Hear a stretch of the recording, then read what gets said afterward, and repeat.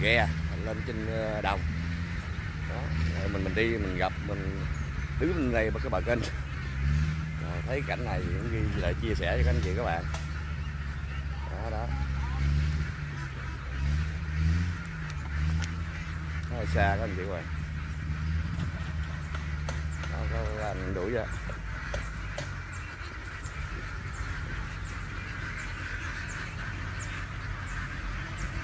Này, với ghe dịch này. Đó, toàn cảnh với ghe dịch đó các bạn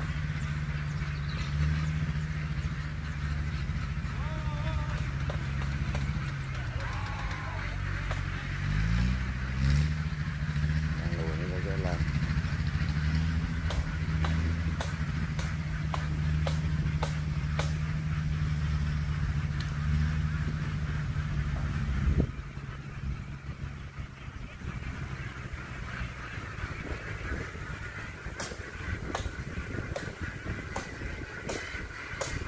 Đó, giờ có dằn cái lưới rồi bắt cái cầu vô đi lên.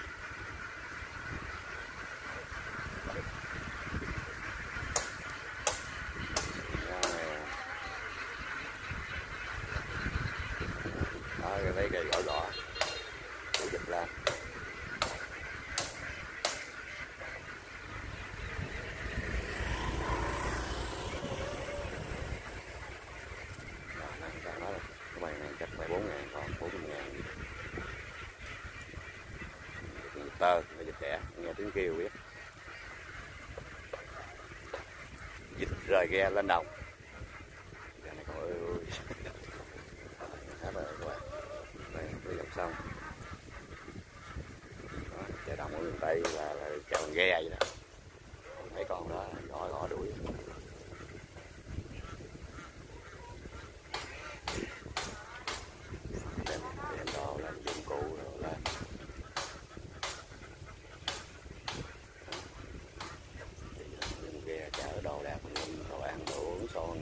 son chảo rồi. Vô lùa, chui vô lùa. Rồi, cái video tôi cũng kết thúc rồi. Cảm ơn các anh chị, các bạn rất là nhiều. Cái nhận tin.